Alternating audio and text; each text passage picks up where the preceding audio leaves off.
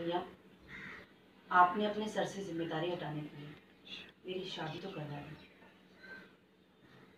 लेकिन एक बार तो सोचा होता कि जिस घर में मैं स्वीटी को भेज रहा हूँ, कम से कम वो घर तो देख लूँ, वो परिवार तो देख लूँ। लेकिन आपने ऐसा कुछ नहीं किया भैया।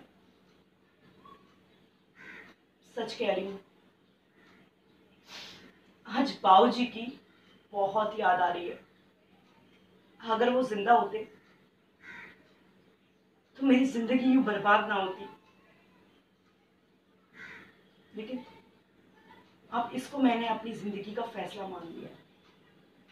अब अब अब यही मेरी किस्मत है। अब मुझे आपसे और भाभी से कोई रिश्ता नहीं रखना। आप जाइए भैया यहाँ से।